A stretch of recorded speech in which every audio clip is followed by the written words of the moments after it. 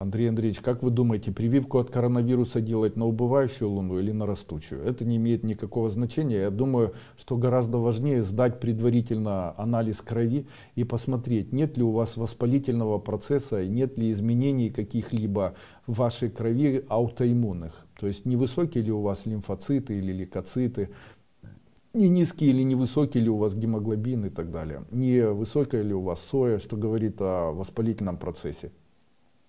После чего показать терапевту, чтобы он посмотрел все-таки эти анализы, и только после чего начинать заниматься прививацией. Потому что в случае, если вы уже болеете чем-нибудь и, а, допустим, а, снизить ваш иммунитет, а именно это произойдет, когда вы а, вколите в себя прививку, то, скорее всего, ухудшится общее состояние и будет происходить обострение по принципу ухудшения общего аутоиммунного процесса или аутоиммунной защиты вашего организма.